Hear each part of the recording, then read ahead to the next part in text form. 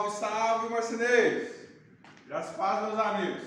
Tá ajeitando aqui pra gente levar esse armário aqui. E é vivendo e aprendendo, né? Passa dali, meu amor.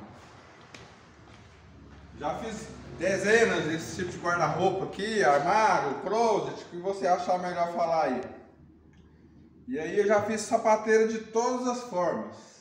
Só bandeja, gavetinha baixa. Semana passada eu vi aí no grupo, não sei de quem, até gostaria de saber, mas eu vi um colega do grupo aí que postou uma sapateira aí que eu achei legal, achei interessante e aí eu resolvi fazer aqui também. Então, copiando de alguém aí do grupo, agora eu tô fazendo a sapateira assim, ó. Ela vai ficar um pouco mais baixa aqui e depois ela levanta lá.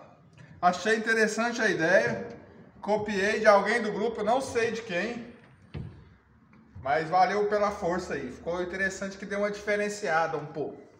E resto, vou manter o padrão, mas quando eu vou fazer esse tipo de armário aqui, eu já tenho mais ou menos as, as medidas padronizadas, profundidade, altura de gaveta, lateral de gaveta.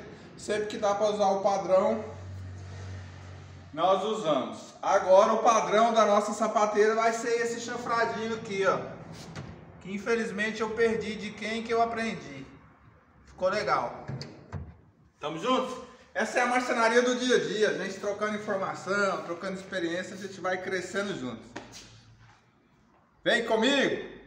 Vem encerrar conosco. Tchau, tchau. Forte abraço.